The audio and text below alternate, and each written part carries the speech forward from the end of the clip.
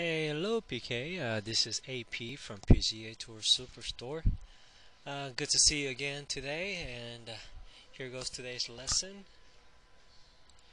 As you're taking it back, your backswing looks okay, except you're taking it back more with your hands again.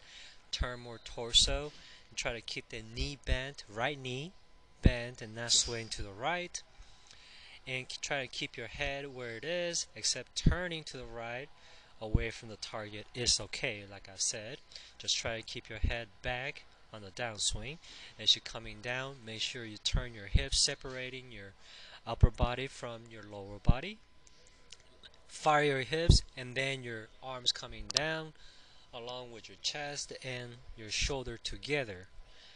Remember they cannot be separated and on the downswing remember you transfer the weight and release as soon as your hand gets in front of the ball okay? Not before but when your hands gets after ball okay?